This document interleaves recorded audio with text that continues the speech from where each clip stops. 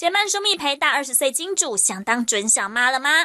二十六岁小清新简曼书被一周刊逮到，哦，笑得好开心哦。他日前跟公司同事聚餐结束后，哦，有人接送哦，一路开往简曼书的淡水住处，整晚再也没出来。直到隔天下午现身淡水老街，简曼书伴侣曝光了，哎，好像有点年纪吼。接着逛进超市买菜，嗯，要洗手做羹汤吗？哦，其实欧吉上身份很好查的。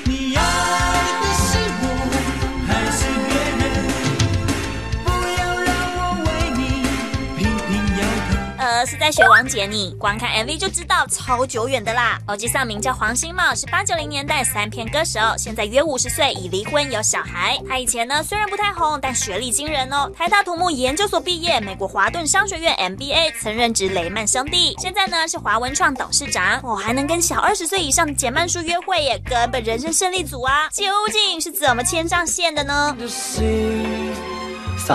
黄兴茂公司是大道城投资方，哎，但当时和简曼书传绯闻的是佑胜呢，哦，莫非是烟雾弹？简曼书前男友高英炫甚至暗指佑胜是分手原因，可可搞错对象了。黄兴茂投资四部戏都是简曼书当主角，甚至出资让他当电影 Open Open 导演，哦，原来是金主来着。演艺圈现在流行当小爸小妈。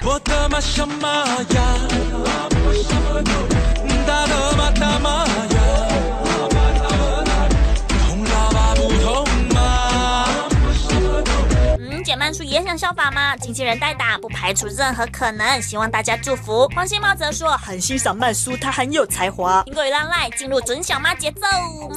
报道。苹果十二周年爆料拿大奖，两百万等着您。独家给苹果照片、影片或者独立采访的公民新闻，点阅数每周最高一名二十万，全月最高一名两百万，改变社会从爆料做起。